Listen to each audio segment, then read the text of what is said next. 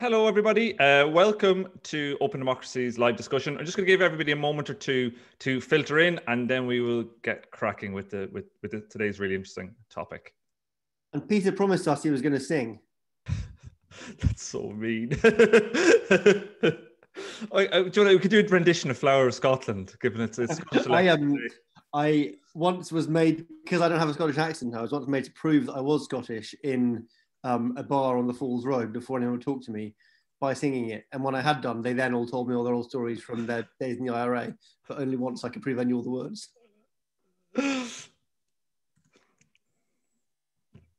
I have. I do not have uh, a similar Flower Scotland story. Uh, I'm. I'm sorry to tell you. Um. So yeah. So thank you everybody for uh, for coming along to uh, today's discussion on kind of a similar, a, a, quite a weighty topic: is Britain breaking up? Um, famous title, which in some ways speaks to Tom Nairn's famous book, The Breakup of Britain which has uh, been reissued with a new preface, I think, by Anthony Barnett, who's just uh, popped up uh, saying, Hi there, Flower Scotland. So, you know, in many ways, this is a conversation that's been going on for quite a while. It's in many ways not a completely new conversation. But, well, yes, exactly. So Adam's displaying this new version of uh, Tom Nairn's seminal, The Breakup of Britain.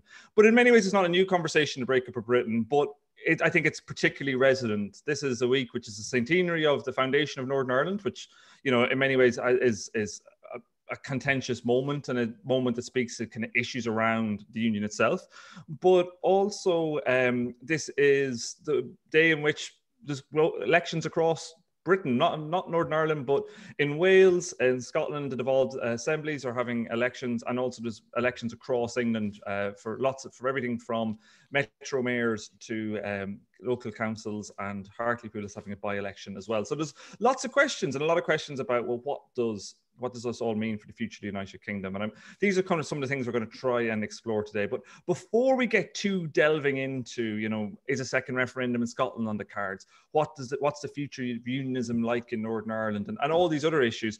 I'm going to put all of my, I'm going to introduce all of my guests and then put them on the spot. So uh, I'm delighted to be joined here today by Sarah Creighton, who's a writer and lawyer who's coming to us from Belfast. We have Matthew O'Toole, who's an SDLP MLA for South Belfast. We have Adam Ramsay, who's Open Democracy's main site editor and is coming to us from Portobello outside of Edinburgh. And we have Richard Wyn Jones, Professor of Welsh Politics. I haven't checked, Richard, but I'm assuming you're in Cardiff. I'm moment. back in Cardiff. You're yeah. back in Cardiff. I took a big guess there, but at least it paid off. So I'm going to give, I would like to go around the room before we get into some of these topics to kind of, you know, the day that's in it. What do we, what's our thoughts on today's elections? What are the things that are standing out for us? Richard, uh, as soon as I started with you, and you're in Wales, and Wales is a place I'm always interested in finding out more about what's what's been striking you with this election in in Wales or wherever else you think is interesting? Well, from you know, um, I'm going to make a startling prediction that as Labour is going to be the largest party in the election in Wales. Um, it's been you, you spoke about the centenary of Northern Ireland. So next year is the centenary of Labour's um, kind of complete electoral dominance in Wales. They've been, they've been the largest party in every important election, bar a couple of European elections, which I'm not going to talk about, since 1922. And they are going to be the largest party uh, after today. And for me, I mean, this it kind of reinforces something that we've known about since 2015, but is I still I still think we haven't thought it through properly, which is we now have three different dominant parties in the three uh, nations of Britain. I'll leave Northern Ireland out of it for a moment. Um, and uh, you know, English Tory hegemony seems unshakable. Uh, the SNP are going to turn in another absolutely stonking performance in Scotland. Labour are going to win again in Wales. And from, from, from the dominant party's perspective here in Wales, this is a huge problem, right? Because what is the Welsh Labour project? They, they look to Scotland. They're trying to avoid some of the mistakes that they think that the Scottish Labour has has made. So don't alienate your independence voting supporters. Lesson one from Scotland. They look they look at England and they go, oh my gosh, how are they ever going to come back from there? And then they're here, they're, which they're doing very well, but you know their project, which is essentially a home rule project, appears to be undermined by a muscular unionism, so called in Westminster and Whitehall, and where do they go, what do they do? And, you know, they're going to do well today, but the, the strategic dilemma they face gets ever more intense. Thanks for that, Richard. That's something, and this idea of muscular unionism and this tension between unionists across, uh, across, we want to call them these islands, as something I really think we, I, am looking forward to kind of delving into more as we as we go on as well. And just to let everybody know as well, I forgot to say at, this, at the start, I often do with these things, that we're really keen to get people involved as well. So you know, thanks everybody who submitted questions ahead of time and comments, and we're going to be coming to them as we go. But also, if you're joining us on the Zoom, you know, please put your comments into the chat box uh, and we can try and get to them. And similarly, if you're on Facebook, put your questions to comments and we'll try and raise them too. So we lots of time to chat. Um, I'm going to come now, I think now I'm going to come now to Sarah in Belfast. Um, I know Belf- uh, Northern Ireland doesn't have any elections, but it's fair to say it's not been short of politics this week or any other week. Uh, you know, between a DUP election, the centenary of Stormont, the, you know, there's there's a lot going on. So, Sarah, what, what's you know, what's some of your reflections on this week? Um, it's it's been a lot, hasn't it? You know, um, you know, I was I, I got the COVID vaccine the other day and was sick for a couple of days, and then, you know, all this has been going on in the background. Um, on top of everything, you know, it's it's been a real eventful week. Um, obviously, it kicked off with with the news that Arlene Foster was going to step down, um, which was coming a while. I think you know we were told she's safe no, she's not. She's safe. No, she's not. But they moved against her, and I think they had to move quick because if they want to put somebody in, they have to get her in before the election. Um, and that happening kind of a couple of days away from the Northern Ireland centenary, I think was was it was quite brutal, really, for Arlene Foster. Um, but it has really brought about um, a whole question now about unionism within Northern Ireland, which has always really, I think, been kind of separate in some ways um, from unionism across Britain. Um, and I think really the DUP now are facing this choice between Edwin Poots and Jeffrey Donaldson. And there's a question really about what direction they're going to take. And, you know, DUP don't define unionism in Northern Ireland, but they are the largest party and therefore they are the leaders really of political unionism. So it's going to have a real impact. And I think no matter what type of unionist you are in Northern Ireland, everybody is, is depending on what view you take on these things, everybody's looking to see who they're going to pick. Um, you know, somebody from the more progressive wing of unionism. You know, obviously, you know, I'm not expecting the DUP to pick somebody who I would like. I think you have to go outside the DUP to do that, but that is the real question at the moment. Um, but you know, reflecting on the, the you know the, the the elections at the moment, obviously for me, who is a unionist, you know, obviously Scotland's a big concern. You know, the SNP are expected to do very well. It's probably going to drive them towards asking for a second independence referendum, which you know I, I don't want Scotland to leave, but I mean I blame the people in Westminster really for bringing us to this point. Um, Wales, you know, um, I, I suppose I'm interested because I, you know, from what I have read, there has been talk that there has been maybe some more independent sentiment in Wales, and I do wonder would that show in any type of small way in the election? You know, could Plaid Cymru maybe, uh, uh, you know, put gains on that? You know, I know during COVID there was um, there was a bit of talk about that, but I don't know how real that is. And obviously within England, you know, that the Tories are, are a huge problem really for unionism within the regions. You know, I think we could probably deal with a lot of problems right now if the Tories were not there. Um, so I'm, I'm keen to see what what happens in, in England as well. Um, so I think it's a really important time for, for unionism at this point in time. I think it's a very difficult time for unionism um, to a certain degree. So guess that's kind of where I'm at at the moment, really. I'm kind of interested to see what comes from tomorrow, and no doubt we'll, we'll have another million conversations to talk about union um, after we get the results in. Thanks, Sarah. Um, Matthew, I was really struck during like like during the week and in the last kind of week or so when our, the move against Arlene Foster came, and I, you know, it's fair to say it wasn't just around social policies. There was a lot of anger, it seems, in the DUP about lots of other things, including the party's Brexit position, and, and just a sense I think that Arlene Foster had flip flopped a hell of a lot, and they weren't really sure what she was doing it, some, it anymore. You know, you had somebody who at the start of January was selling the benefits of the protocol, and by March was a signatory in a legal challenge to the protocol's very existence, which suggests beyond just the levels of normal political uh, political kind of flexibility. But one thing that did strike me, you know, that she she uh, Arlene Foster kind of was forced out really just after abstaining on a, a a vote on a ban on gay conversion therapy that was put forward by the Ulster Unionists. Mm. And so you could kind of see it within the context of, of social conservatism in the DUP. And there's been a lot of talk, does the, does the DUP move more to the right? Does it try and it kind of kind of have a pincer movement against to stop voters hiving off like further to its right from the traditional unionist voice? And it kind of when there's been a lot of conversation almost it suggests like is Northern Ireland going backwards in that in a kind of way in terms of politics. But what struck me is really interesting. Um, uh, you're from the SDLP, of course, but also with the Alliance Party, the Green Party, in some ways, it feels like Northern Ireland, in a way that really wasn't the case before over the last, say, 10 years, is now a, a three, you know, without being, putting people in the boxes, but like a three thirds society. You have people who are solidly on in the in the unionist camp. You have people who are solidly in the kind of Republican, you know, green t- greener version of nationalist camp. But you also have an increasing number of people for whom you know this this polity. You know, there's a there's a kind of sense in which that's not the politics they necessarily want to see. And I'm just wondering, by fixating so much on the internal machinations of the DUP and things like gay conversion therapy, are we missing some of the deeper changes that are happening in Northern Ireland? Well, I think the two are connected.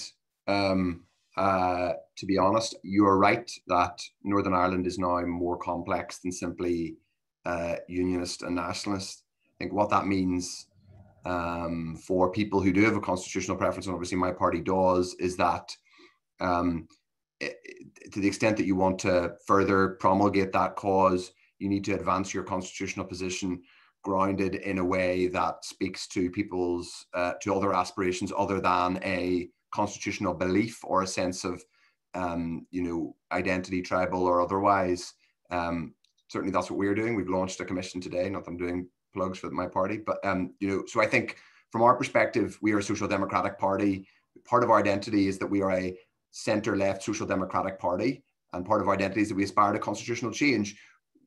The challenge for us is putting putting the two of them together and ex- explaining how one um, helps deliver on the other. But that's not what we're all about. We're not a, uh, unlike other parties, a solely constitutional party. To go back to the question you asked me, Peter, about um, the DUP um, and why I think the, the the you know the emergent third in the middle um, some of whom do have a constitutional preference, by the way. I think that adds to the complexity of Northern Ireland. And sometimes, in a set, people sometimes talk about the Ulsterization of Scottish politics or the Ulsterization of politics in um, Britain, GB generally. And that's definitely true. But of course, the, the corollary to that is that we're a lot further on in that journey. We've been doing that. We, we're really we're really experienced at it. We've been doing it now for literally centuries. So you know you won't you won't get better than us at it. Um, uh, but it does mean that th- that group in the middle, they're not. It's not that they don't all have a constitutional preference, is that they don't uh, they don't want politics and public life to be solely defined by it.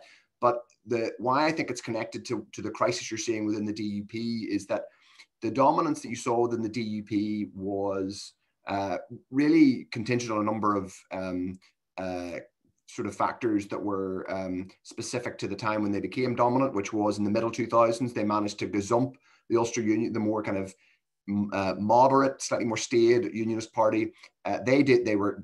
They moved from the extremes. They did a deal with Sinn Féin. They then became a coalition of their old Paisleyite fundamentalist, socially conservative wing, kind of working class loyalism, which consolidated around them, particularly as some of the more, I guess, more you know, um, working class loyalist parties died away. Um, and that coalition joined up with a kind of pragmatic, fairly pro business, kind of right leaning uh, unionist establishment. Now, Brexit is the thing which has undermined all of that.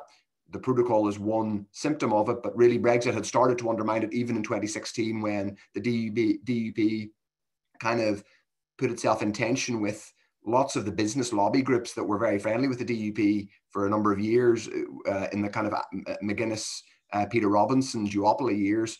Um, they put themselves against those interest groups. And that meant that once the dust settled, the post Brexit dust settled, we know lots of the constitutional cards have been thrown in the air. We're talking about that today, but also loads of other questions have been thrown into the air, including the future of Northern Ireland's economy and lots of other things.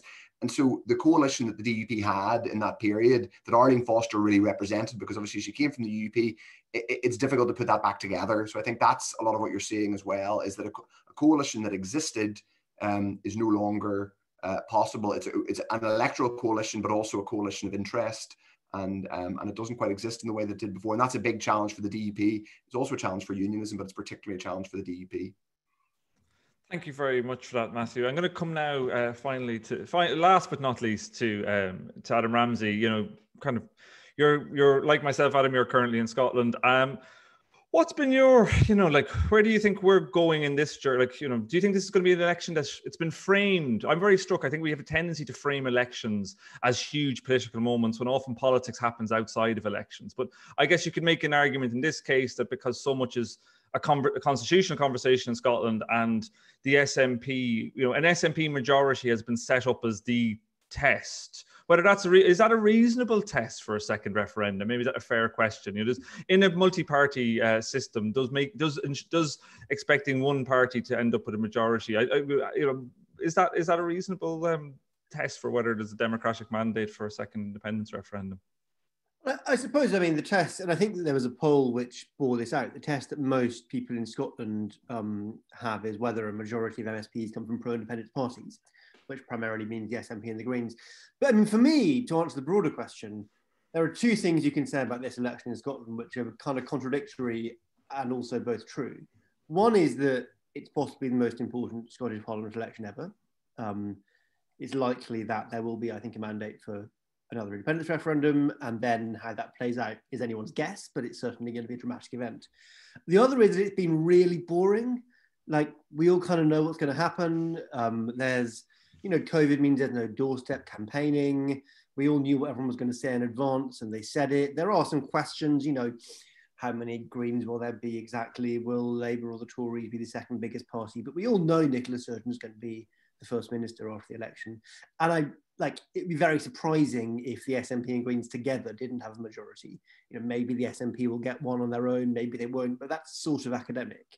And so I think we can believe both those things. It's both very important, but also because it's kind of pretty foregone conclusion, it's not the great high political drama it often is. What we're really seeing is the continued unfolding of the same political trends as we've seen for a decade in Scotland and, and you know 15 years really, um, which you know we can talk through at length um, over the next hour or so. But but I don't propose to do so now.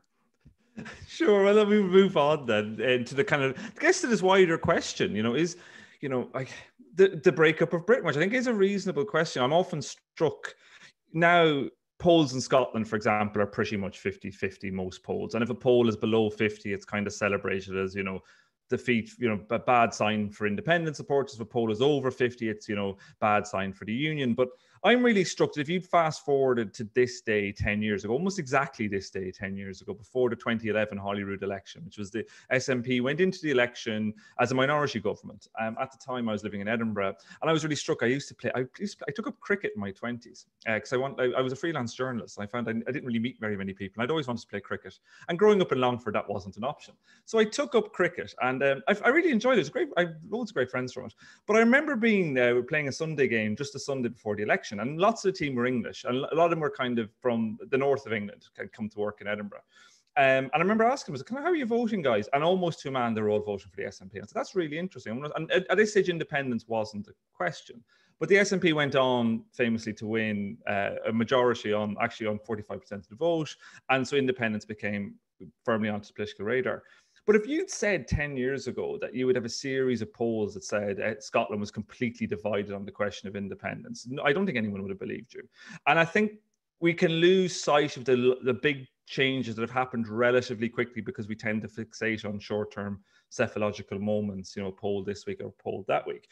Which does bring me to the kind of question of like, are we at this point where we do need to fundamentally talk about the big C word, the British Constitution, and constitutional change? And and if I'm to does anybody on the if if anybody in the panel thinks that we don't need to please say that too but i'm just kind of wondering is does the current status quo is it sustainable and and you know if it isn't what should we be looking at i might start with you richard because you've recently written a book on englishness and i think i'm aware that there's not an english voice on this panel Oh yeah, that's well. Having done a, bo- lot of book tours recently, I'm, I'm well aware of how important this is. Uh, in all good bookstores, with, uh, an honourable mention for your co-author Ailsa Henderson as well, who, who any viewers in Scotland will see, I think, a lot over the next uh, 72 hours. But yeah, just, you know, Englishness as well feels like a, an important part of this conversation too. So just yeah, what, what do you, what's what's your take? So I think you know uh, there is there are so many different facets in what you've just been saying there, Peter, and just pick up on a couple of them. So, I, I, I mean, there are, um, Ilse and I have been working on Englishness. We've also been doing cross uh, four territory surveys, um, comparing attitudes. Um, most of the survey work that happens is about your own place and about your relationship with England, essentially. So nobody ever asks anybody in Northern Ireland, what do you think about Wales? or, or you know, and, and so on and so forth. So Ilse and I have been digging into the weeds. We've also written this big book about Englishness. And I mean, there are several takeaways from this. First of all, uh, there's a tendency um, to view what's going on as where well, you've got kind of nationalism and competing unionisms on the periphery. And this, this, the core of the state is somehow kind of watching on beatifically. And of course, this is an absolute nonsense. And what the, the most consequential constitution, constitutional change that this state has seen for at least a century, I would say, is, is the, the Brexit project. And what we know about that is in England, it's very much attached to English national identity. Those people who feel um, most um, hostile to the European project are also deeply uh, unhappy about England's position within the domestic union, think that England gets a bad deal. I mean, some of this, as a Welsh-speaking Welshman whose language whose language got equal status in the UK in 2011, I'm kind of thinking, well, mm, this, this, you know, this, this, this oppression that you're suffering, England. I'm not quite sure about this, but anyway, it is nonetheless a fact that you have this, these very deeply felt. I'm, I am making light of it, but these are very deeply felt sentiments, and they are moving the dial. The Conservative Party mobilised this sentiment very deliberately in the 2015 general election, won that election. As a consequence of that victory, we got the Brexit referendum. We know that result. So what we have is a state where, and what's interesting about that particular dimension is that uh, on every occasion when people have warned if you go down a certain route, it will damage the domestic union, people have gone down that route anyway. I mean, the, the classic example here is Boris Johnson. Think of those two articles that he wrote where apparently he was trying to decide who to support. In, if you read the, the, the draft Let's Rem Vote Remain article, he specifically says, if, if we leave, there's a problem with Scotland. Did it stop him? Of course not. You know, time and again, they choose the routes which damages the union. And then, oh, pearl clutching, things aren't going well in the union. So, you know, so, and, and that actually speaks to something profoundly interesting in the data that we get from the four territories, which is that nowhere, and we, we have another article, for those of you with an academic bent, Ailsa and I have just published a piece called Unions of the Mind, which looks at the UK as a subjective state, okay? And what you find is, in, is that nowhere in the states do you find a majority for kind of down the line unionism. So that is the, the most important value, okay? What we find is that in all parts, there's a majority comprised of those people who want their territory to go anyway, or those people who say, well, um, you know, I don't want it to happen, but if somebody goes, fine. Which is a kind of ambiguous attitude. In, in all places, those people form a majority, okay? So, in combination. So this is a state with very few partisans, basically. And, uh, and from a Welsh perspective, you know, Wales is basically Montenegro to the UK's Yugoslavia, if you like, okay? So basically, we're the place who would be, you know, would be quite happy with home rule all round, if you like, okay? Extensive devolution, find a way of making that work as a state. That, that's the sweet spot for Wales. But, you know, increasingly it appears that that's not a sweet spot that's attainable, which is why you get to Montenegro as the, because the, the, the political conversations I hear constantly are, well, you know, if Scotland goes, there's an assumption, and actually there's not much interest in Northern Ireland. That's another common factor uh, in the rest of the states. But the assumption is if Scotland goes, Northern Ireland will somehow, by some process which has never quite worked out, will somehow disappear into, the, into some all-Ireland. So that leaves Wales and England. The Kingdom of England and Wales. It's even got an acronym, Q, okay? And Q is not very attractive as a proposition. Psychologically, Q feels very awkward. And what you're seeing um, is two responses. One is um, independence, and we can come back to that. Sarah raised, you know, there is increasing, there's a kind of uh, grassroots independence campaign in Wales, which has been very impressive over the last couple of years. But that's matched by a kind of assimilationist, let's get rid of devolution, let's assimilate Wales fully into England in the way that it was for a period in the 19th century. And so we're seeing that, and this is Montenegro, so it's this is the tension. Where do you go? You, you prefer not to go anywhere, frankly, but it's a, cho a choice that's being forced upon you by the actions of others who you who take no notice of what you say. It's interesting. I was really struck a, a, a, few years ago, actually, the Political Studies Association event in Cardiff. I'm sure you are too. Um, it was the for- Carwyn Jones, the former uh, Welsh First Minister, gave a, a, lecture. Former Labour First Minister of Wales gave a speech that was incredibly nationalist and far more. Na- it was before the Scottish referendum, and it was far more nationalist I'd ever heard a Scottish Labour leader give a speech. And it really, I thought it was it was really interesting because it seemed, and I, I even I've heard Mark Drakeford speak, he's not quite as bombastic as Carwyn in many respects. He's slightly more downplayed, but there is a similar sense that that's it feels as where some of Labour's Scottish uh, Welsh Labour's success has been has been in remembering it. I mean, maybe there's a case. I'm, I'm, you know, I'm just about to start Michael Keating's new book on on the history of the, on on unionism, and his thesis really is is that the union has started. The union's degraded because it's been replaced from it's no longer kind of regional specific unionism and it's become this kind of british nationalism from a central state this kind of muscular british nationalism which i think the conservative party having previously in previous decades in Scotland in the 50s. The Conservative Party were the biggest party in Scotland and had a very Scottish side to them. They were Scottish Unionists and with a you know with a, with a capital S and in some ways a, a, small U.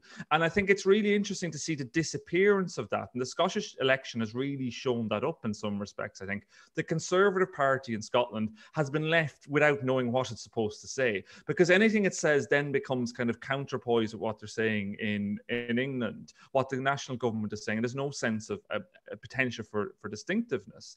And I, I do wonder if there's a, it feels as well within the kind of British commentator class, particularly the kind of right wing newspaper commentator class, there's a rise of muscular nationalism without anyone really talking about it. The idea is that devolution was a bit of a bad idea. It was Tony Blair's idea, as opposed to, like freedom of information, another pet subject of mine, it becomes Blair's idea, as opposed to the fact that, leaving aside Wales, Scottish devolution was the product of a very, very long history within the Labour Party. You know, and I, you know, and so the idea that Tony Blair just came to office and decided, you know what, I'm just going to do this thing is just completely for the birds.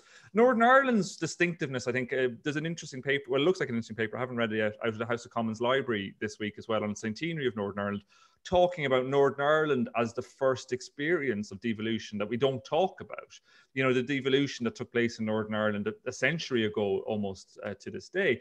And I kind of want to bring Sarah in now to kind of talk a little bit about some of this because I was just thinking when Richard was talking about there about Brexit and you know and Englishness, but it does feel as well the other thing you know Northern Ireland voted to remain, of course, but unionism and, and loyalism uh, were very closely, a lot, I think, in the Brexit process. If you look at what we you know polls aren't exact, but it does look like you know, the polls did come down to a, a, kind of green and orange split in many respects when it came to the, the, Brexit referendum vote, with very, very high Remain votes in nationalist areas. Like Derry was the highest vote in the country, and quite high Leave votes in in in um, in, in more unionist areas. And you know, how does from Belfast, does that characterization from Richard of, of, of, Brexit really starting to pull these fissures of the union in really, really discordant directions ring true at all? Um, it does, um, because I think, as Richard says, it was very much an English project, but that's not. I, I think though the other mistake is not to discount the strength of feeling in Northern Ireland. I mean that the, the Brexit vote here was was sizable. You know, it was over forty percent. It was about forty percent. You know, high thirties or so. I think it was know. even higher. It was. Yeah, it was, it was about forty-four. 55, 45 roughly. Yeah, you know, it was. So it, was, it was a large vote. It was pretty decent, you know, and you know, my my dad voted Leave and my brother voted Leave. I voted Remain um, for part of the reason because I didn't want to United Ireland. Um, but it is, and I think it's really the, the, the direction of Brexit that they took. And, you know, people voted Brexit for different reasons. Um, you know, my dad's a bit of a socialist, so he's never liked the European Union. You know, um, my, my brother told me we were going to get Norway, and I said to him, "Now, where's Norway?" um, you know, so it, it is. I think it was very much the direction that they took, really, where the, the, the Remain votes and the strength of feeling within the regions was not recognised or listened to. Um, and in taking that Brexit, where they didn't take that into consideration, then has I think has caused this fracture and this this conflict now. So you know the the, the large Remain vote in Northern Ireland was completely ignored until Theresa May suddenly realised that, oh dear, this is actually going to cause a problem. The strength of feeling in Scotland was ignored as well. And it's basically just because, you know, I think it's because of the, the people who were driving it were English nationalists, they've never had to really think about the union that very much. I think they've always taken it for granted. Um, I think some unionists in Northern Ireland have done that as well, but I think we have always thought about the union, you know, in general terms because we, we're so connected to it, and it's we're so it's so hinged in our identity, and it really has, I think, you know, in ignoring I think just the Brexit vote itself, just ignoring the fact that the Remain vote was also so high as well. You know, if it had been the other way around, Remainers would have been told you have to listen to these Brexiteers and, and their concerns, which would have been absolutely right, but that just was not done. And I think in choosing that the Brexit that they did, which was the hard, hard Brexit instead of picking a, a softer one, um, that really did cause significant problems um, and a lot of anger. Um, and I think the attitude of, you know, you've lost, get over it, I think drove a lot of people away. Um, and in Northern Ireland I think what you're seeing is I suppose we need to be clear about this. I mean, the polls in Northern Ireland, there's only really one poll that shows a, a, a, strong move towards United Ireland. Other polls are uncertain. Um, some polls show support for United Ireland as low as about 20, 30%. Others show slightly higher than that. I think what we can take for granted is that people are thinking about these things. Um, I think Brexit has had a factor with that. You know, a friend of mine, she described it as being like a jolt in her sleep where she said, you know, I'd never really thought about the type of country that I wanted before. I'd never thought about what type of Northern Ireland I wanted. And now now I'm thinking about it. And I think particularly for the younger generation, you know, for my parents' generation, you know, United Ireland was what the provisional IRA wanted. You know, that that is that conflict is not the truth, the violence isn't there anymore. So people are coming to this from a, a very different perspective and they're weighing it up. And, you know, I think Brexit has driven people to, to, to, think. I would say, you know, I describe it as like a holding pattern. I think a lot of people right now are wanting to see what's going to happen. They want to know what, what's going to happen coming down the road. But um, I thought Richard's comments about English nationalism were, were really, really interesting, particularly about that that sense that England hasn't really benefited from the union. You know, again from the regions, that just seems incredible. Um, you know, the thing that always I think I suppose is a bugbear of mine, um, you know, this attitude that no one really thinks about Northern Ireland. I mean, we know that over here, everybody knows that, unionists know that, loyalists know that. But I mean, there is this attitude, I think, um, with Northern Ireland that we kind of followed England home one day like a stray cat, you know, that we just kind of appeared suddenly, you know, as opposed to Northern Ireland being something that was constructed by Britain and and you know that was there and um, you know, the discussion about English British nationalism, of course, is very important, is very interesting as well because, you know, over here we've always the Union flag has always flown on every street corner. You know, but I always find it quite strange when people in Britain get a bit uneasy about it because, I mean, obviously it's, it's an issue here as well. That's not to say that it's not, but you know, British identity here has always been very strong. You know, I do have a, a British identity. I've always had, along with an Irish one and a, and a Northern Irish one. And I suppose, you know, I often wonder, you know, did this, do people in Britain not ever wonder where that came from? Did they not ever wonder where unionists and loyalists got this from? Did they, you know, you know, it, it's it's we didn't just follow you home one day, you know. Um, it, it comes from a long history over here, and I suppose it's interesting to see that debate about British nationalism, and I, I think unionists in Northern Ireland have always got that to go back to, you know, that that that sense of Britishness. Where I think in Britain, as you were saying, you know, the, that that seems to have been lost somehow, and and now it's been it's been um, taken upon by the Tories in this very brutal aggressive way and you know that they don't really understand the regions. You can tell from what they're doing that they don't understand unionists in scotland or northern ireland or wales you know that they just they're just pushing ahead with this this idea you know we'll stick a flag at the top of a building we'll, we'll do this and you know it's not really going to to help their cause. And and i think it shows that they've basically just discovered the union. You know i think they've just realized and they've gone oh no this is an issue now. So i think um gone on a tangent here but yeah, it's it, it's I think Brexit certainly I think has has caused the difficulty, and I think it's particularly in Northern Ireland. I think um, for unionists, you know, the I think Brexit it, it's a difficult one because you have to, as I say, you have to weigh up these two sides of in Brexit. You can't just ignore the Brexiteers because they, they feel it very very strongly. But I think the solution I think could have been could have been a compromise at the start. I think some Remainers would have been willing to do that. I think they were pushed in a much more hardline direction, I think, and same with Brexiteers as well. So yeah.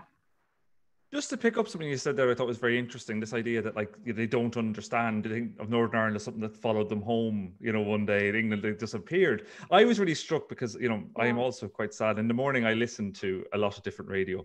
Uh, I one of those Alexa things. I can just say play RTÉ Morning Ireland, play World Service. So, and I do yeah. listen to a lot of RTÉ as well in the morning. I, I recently, since actually since Brexit, um, so I listen to a lot of Irish radio and I listen to British radio. And I was really struck, you know, Irish radio for the last, we actually would truly, it's what we call, you know, the St. the, it's the kind of decade of centenaries in Ireland. So this, the, the foundation of Northern Ireland is part of a mm. wider story of Irish independence and Irish statehood. But it's really interesting the converse, the, the discussions on Irish radio. There's like a long running series on this on, on Morning Ireland. And as part of it this week, they're talking about partition and the story of partition. You know, Charles Townshend's got a new book out on this. Is it's really messy. Like partition was so not a logic, you know, partition could easily not have happened, but it's mm. so interesting to find out how it did happen. Why what why the six counties were included and not the nine? Why the four why it wasn't four counties instead of six? You know there's a whole interesting history when it comes to, as I've seen it anyway, the British discussion on the centenary, all you get is a bit about tourism and a bit of bump about, you know, it's bump. There's almost, I've heard almost no conversation at a British level about the story of Northern Ireland. How did yeah. Ireland come to be here? Yeah. Um, and I guess what's interesting, and I might bring you in here, Matthew, is to talk about, we're talking about the border. So, you know, the other thing that's interesting to me is coming from uh, from not a million miles away from the border, but on, on on the south side of it is you know, growing up, we I could I would have found it hard to imagine a time in which we talked about a border poll. You know, and, and it was something that was especially something that was on television. You know, we had this very big iconic debate on RTÉ recently, which uh, involving a series of people, including Joe Brolly, uh, quite controversially about Irish Not the SDLP, extremely controversial. Yeah, yes, yeah, yeah. Um, and I was, very... there, and SDLP weren't there. uh, I'm glad you were there, Sarah. But, but uh, so like what what you know what do you where where like you know obviously the SLP is a position on this, but you know are we are we going to see are we at a point where a border poll is you know something we're now talking about? Does that mean that something is going to happen? And what do you think would take us to get there?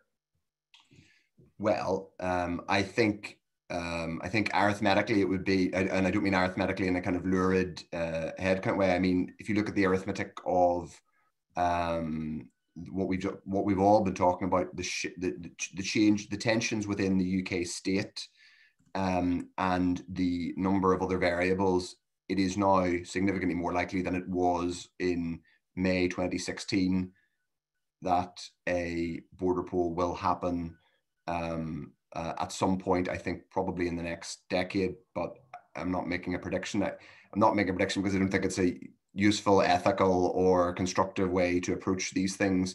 Um, and I say that as so, someone who represents a party which does have a preference and does believe in um, changing the constitution.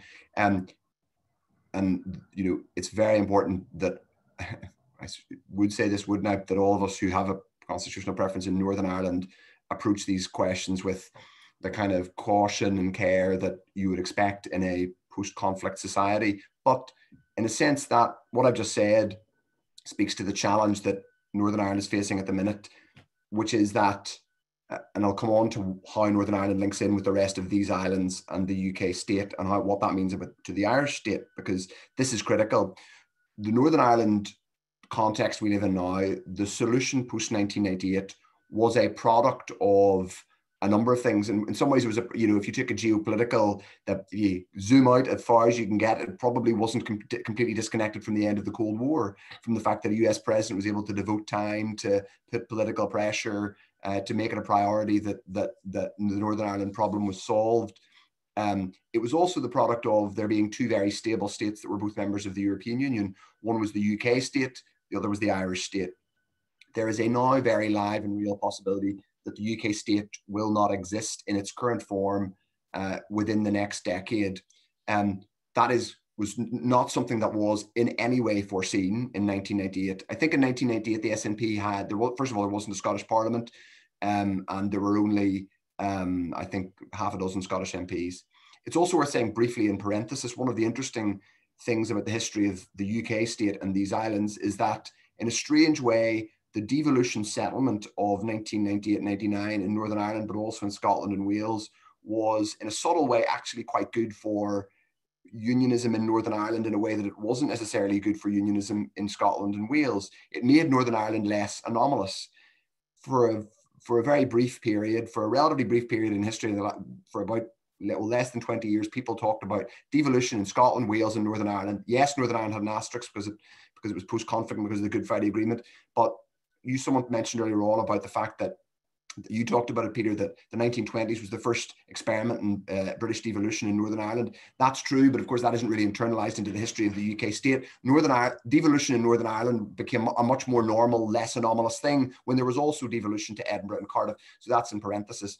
Um, but the, the point that the UK state is changing fundamentally has changed since Brexit. Um, does mean that it is inevitable that questions around the constitutional status of Northern Ireland will change um, not to be narcissistic or uh, sort of politician about it and talk about it in relation to myself, but five years ago, I was a British official working in number 10 Downing Street. I would not have chosen that to do that if I was seriously planning a career as a nationalist politician in Northern Ireland. I'm not that for strategic or far-sighted. Um, I wouldn't be here doing this job um, as a as an SDLP politician were it not for Brexit and the fundamental reordering that that has meant uh, of the UK state. Um, uh, and we haven't yet seen the outworkings of that. And the thing about Brexit is the entire process has actually, if in a sense it was a question posed to, or cleverly posed by Dominic Cummings and Vote Leave to lots of English voters about their, about anger, concern about where power lies, it has then consistently forced up people in other parts of the UK, Scotland, Northern Ireland, and yes, to an extent, Wales, although possibly uh, in a slightly different way, um, to ask questions about where power lies in the UK state. And that's exposed the extremely rickety and ad hoc and improvised way that the current UK constitution has been created. So, yes, it is natural that we ask questions about the future of Northern Ireland in that context.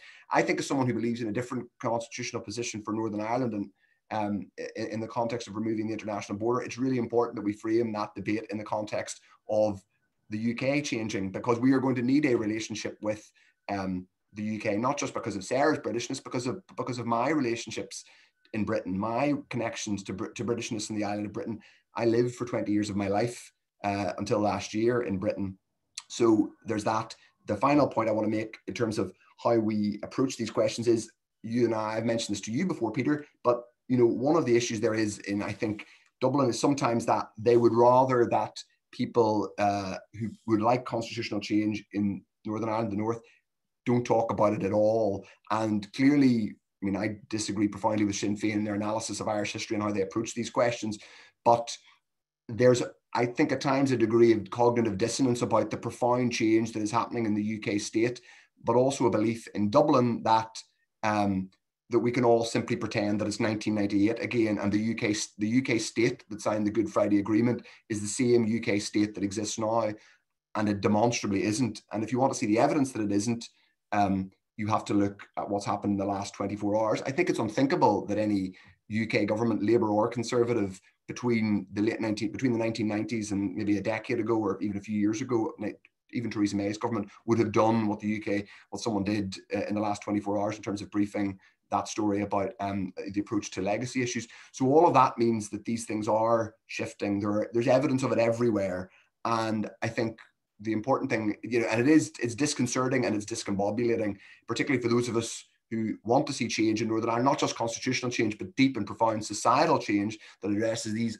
like extraordinarily difficult issues around reconciliation uh, and economic underperformance that we have here, and that we do so in a responsible way but you know what? It is difficult to do it um, to to do it as cautiously and carefully as I would like to do it because things are moving so fast in other places. Uh, and um, and I suppose I'll leave it at that and try and be uncharacteristically concise.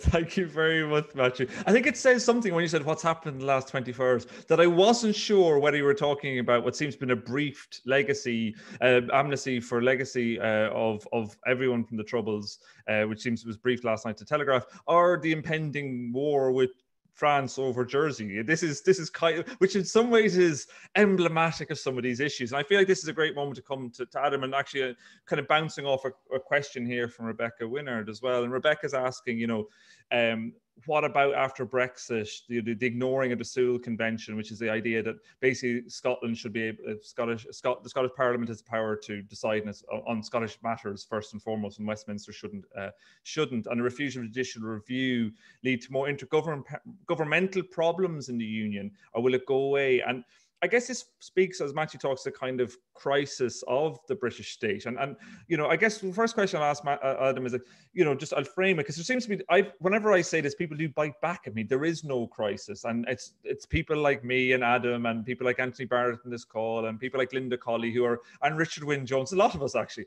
who are inventing uh, this crisis of the British state. Really, Britain is a unitary state, like lots of other states. It's just like France. It's just like Germany, and we are we are inventing these problems and the, the solution to this is to retreat back into a unitary vision of the british state what do you think adam I think I know your um, answer. I think yeah, it's a two-word, two-letter answer to that. But yes, keep going. I mean, there's a lot to say, isn't there? I mean, I mean, you know, you only need to look at the election results we're going to see emerging over the next few days to understand that, that that's clearly nonsense. But, but I also think that there's a whole lack of history here. So, you know, it's not just the 100th anniversary of Northern Ireland this week, it's the 100th anniversary of the United Kingdom of Great Britain in Northern Ireland. You know, the, the state under which I also live is also celebrating, in a sense, its 100th birthday. And, you know, that, that idea of Britishness, you know, Tom Collins puts a very interesting point in the chat where he says, you know, that King George V addressed the first Northern Irish Parliament talking about the newly elected MPs as Irish as we talked about, you know, that that existed in the context of empire. And although I've agreed with almost everything Richard said, the one thing I disagree with is for me, you know, the biggest constitutional change in the British state in the last hundred years was independence for India and the breakup of the empire. And that you can't really understand any of this without seeing that, you know, 40 years ago, or even, you know, 70 years ago when Britain was first emerging from war, what we had was a kind of new British state that came out of the ashes of empire. And the idea of Britishness, as we understand it now, really only emerges from then. You know, that, that before then you were a citizen of the British Empire. Look at legal framework of citizenship laws. You know, everyone was a British citizen if they lived in a part of the empire, in a colony. And the one of the things I've been really thinking about recently, you know, as I say, I got um, Tom Nairn's Breakup of Britain in the Post, which in which in the 1970s he predicted the breakup of Britain. And the other book I, I, was sent at the same time is a new book that's coming out soon by um, uh, James Marriott and Terry Macalister called Crude Britannia, which is about the history of the oil industry in Britain. And it's a very interesting, you know, if, if you imagine that Britain hadn't discovered oil in the late 1970s, and ask yourself the question, you know, as the empire continued to unfold until about the 1970s, what would happen then if we hadn't discovered, if you know, Britain hadn't discovered oil and been able to inflate the city and the massive financial bubble that sustained the British economy for the next 40 years? How quickly would that process have continued? And obviously, it's a kind of factual, we don't know. But I suspect the answer is much, much faster. In a sense, what we're seeing is a delayed process from the end of empire. I don't mean that in the sense that Scotland is a colony. Scotland, you know, was a very active participant in colonizing rather than being a colony. But the purpose of the union in the first place between the Scottish ruling class, you know, my ancestors, there's a reason I have a Scottish accent, it's not that I've got Scottish, um, and the English ruling class was to go and conquer the world. And that agreement essentially came to an end sort of over the course of the 20, 30 years after World War II. And then we suddenly struck oil. And so there was a whole nother purpose of being together, which was using that oil money to inflate the kind of financial bubble and the city of London and also the city of Edinburgh, you brought back to Scotland, etc. And I think what we're seeing now, in a sense, is an end of that era. And the big event, you know, really in that was 2008 financial crash, when it became very clear that that wasn't a sustainable settlement anymore. And, you know, in a sense, to answer the question about Brexit, I would trace a lot of this, a lot more of this to the 2008 crash than to Brexit. Yes, absolutely, Brexit is an important point in that process and all the things everyone said I agree with. And yes, it's not surprising that in that process, all of those kind of temporary contingent rules around devolution, um, you know, are coming on, are being unravelled. But that devolution settlement was built on that old model of the British state, which relied on, you know, this kind of very, very credit-heavy oil inflated economy. can I jump in there, Peter? Please do. Please jump in, guys. It's not. So, I'm, so I'm, not the only not one. Gonna, I, I, I, mean, Adam makes a, a great point about the India and the retreat from empire, and, and actually particularly the emblematic role of India in that. But one of the things I would just like to say about Brexit um, and and how it relates to the the crisis, which I think we're clearly uh, in a in a crisis.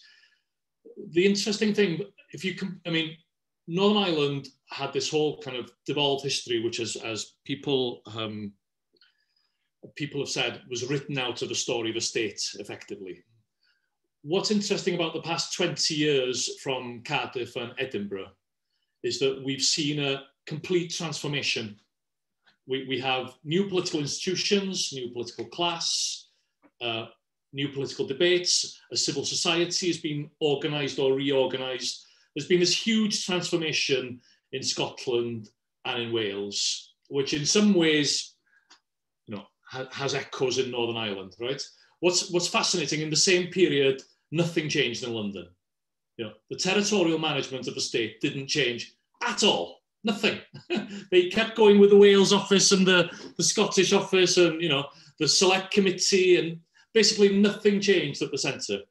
And so in at, around the periphery, we had this debate about the UK, you know, the, the whole model of parliamentary sovereignty is hasn't formally gone, but we all know it doesn't mean anything anymore. And we're moving on to a different kind of a politics, and we, we don't know what to call it. Is it asymmetric, quasi-federal. I mean, there were really ugly phrases being framed. But the whole idea was that we knew, right, that things had changed and you couldn't go back. Meanwhile, at the centre, they kept going with all the same ideas, all the same dogmas. What Brexit does is it means that we can't, we, we can't keep telling these stories at the same time. Before Brexit, we could keep going with these completely incommensurable stories because apart from a couple of Supreme Court cases that, you know, interested people in Wales, but probably nobody else, like these things never actually clashed. But because of the way that the UK government then chose to interpret the Brexit mandate, and I think Sarah's absolutely right, it wasn't nailed on that they would pursue this, you know, bugger you the 48% approach to the mandate, okay? But, the, but what it did is it made the, the pretense impossible to maintain. And so we've now got hard sovereignty politics, right? Uh, and, and so this is why I think that Brexit is so profound. I don't disagree with Adam, uh, and I think his political economy is really fascinating. But I, but I think that what Brexit does is it makes the, the kind of pretense that we had in Scotland and Wales and potentially Northern Ireland all of that goes away. It is actually hardcore Diceyan parliamentary mm-hmm. supremacy. sod you, we're not going to listen to anything you have to say. No matter how reasonable you are, Welsh Labour Unionist government, with your very constructive suggestions, we just don't care. Right? Uh, and, and so this is why Brexit is this particular moment, in my view.